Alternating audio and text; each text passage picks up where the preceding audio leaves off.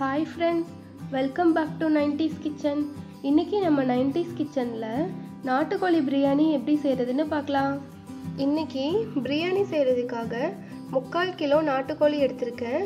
கழுவி சுத்தம் பண்ணதுக்கப்புறமா கால் டேபிள் ஸ்பூன் மஞ்சள் தூள் அரை டேபிள் ஸ்பூன் மிளகாய் தூள் கொஞ்சமாக உப்பு சேர்த்து நல்லா கலந்து விட்டுக்கோங்க.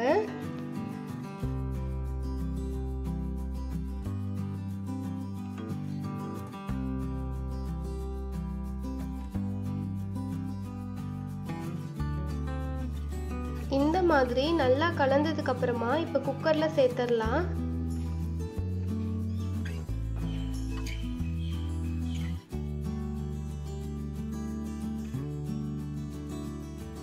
தேவையான அளவு தண்ணி சேர்த்து விசில் விட்டுக்கோங்க. இப்போ நம்ம பிரியாணி செய்கிறதுக்கு தாளிக்கிறதுக்கு தேவையான பொருட்கள் எடுத்துடலாம் ஏலக்காய் ஆறுலேருந்து ஏழு துண்டு இடித்து எடுத்துக்கோங்க. பட்டை ஒரு இன்ச் ஒரு துண்டு கிராம்பு நாலுலேருந்து அஞ்சு சேர்த்துக்கோங்க. அண்ணாச்சி மொக்கு ஒன்று பிரிஞ்சி இலை ஒன்று இப்போ நம்ம ஐம்பது எம்எல் எண்ணெயில் ஐம்பது எம்எல் நெய் சேர்த்து நெய் உருகுனதுக்கப்புறமா இடித்து வச்சிருக்கிற பட்டை கிராம்பு ஏலக்காய் எல்லாம் சேர்த்துடலாம். நல்லா பொரிஞ்சதுக்கு அப்புறமா பெரிய வெங்காயம் சேர்த்துக்கோங்க. பெரிய வெங்காயம் நான் கால் கிலோ எடுத்திருக்கேன். கூடவே நாலு பச்சை மிளகாய் சேர்த்துக்கோங்க. எல்லாத்தையும் சேர்த்துட்டு நல்லா பொன்னிறமா வதங்குற அளவுக்கு வதக்கிக்கோங்க.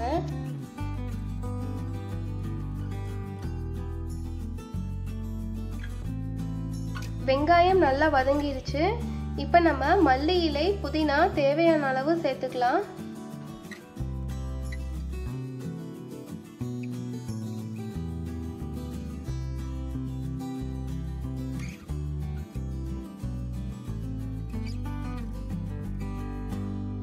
மல்லி இலை புதினா நல்லா வதங்கிருச்சு.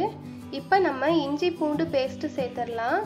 எப்பவுமே ஒரு கிலோ அரிசிக்கு அறுபது கிராம் பூண்டு நாற்பது கிராம் இஞ்சி சேர்த்துக்கிட்டிங்கன்னா நல்லாயிருக்கும். இஞ்சி பூண்டு வாசனை போனதுக்கப்புறமா தக்காளி சேர்த்துக்கோங்க. மூணுலேருந்து நாலு தக்காளி வரைக்கும் சேர்த்துக்கலாம்.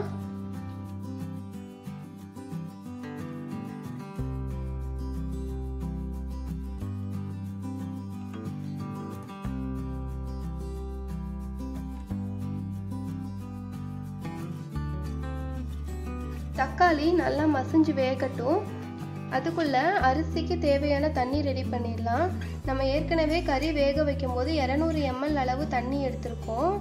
இப்போ அதில் நாலு டம்ளர் அரிசிக்கு எட்டு டம்ளர் தண்ணி வேணும்.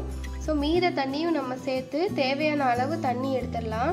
இப்போ தக்காளி மசிஞ்சிருச்சு. மூணு டேபிள் ஸ்பூன் சிக்கன் மசாலா எடுத்துக்கோங்க. இப்போ நம்ம வேக வச்ச கறியை இதோட சேர்த்துடலாம்.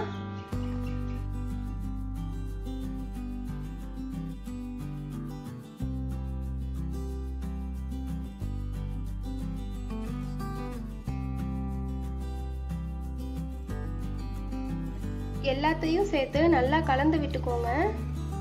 கூடவே ஒரு கால் கப் தயிர் சேர்த்துக்கோங்க.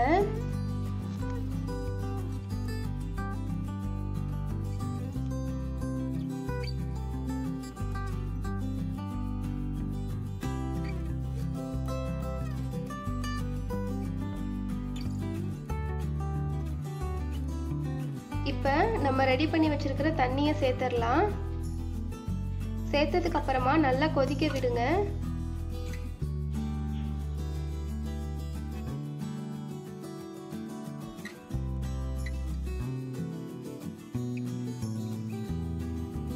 இந்த அளவுக்கு தண்ணி கொதிச்சதுக்கு அப்புறமா நம்ம அரிசி சேர்த்துடலாம். இன்னைக்கு பிரியாணி செய்யறதுக்காக நான் ஜீரக சம்பா அரிசி எடுத்திருக்கேன்.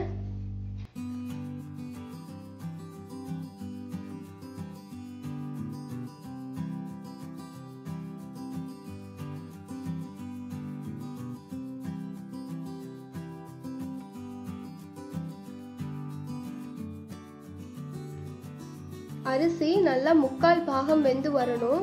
முக்கால் பாகம் வெந்ததுக்கப்புறமா நம்ம மூடி வச்சு சிம்மில் ஒரு பன்னெண்டுலேருந்து பதினஞ்சு நிமிஷம் வரைக்கும் விட்டுறலாம். அரிசி இப்போ முக்கால் பதம் நல்லா வெந்துருச்சு. இப்போ நம்ம மூடி வச்சிடலாம்.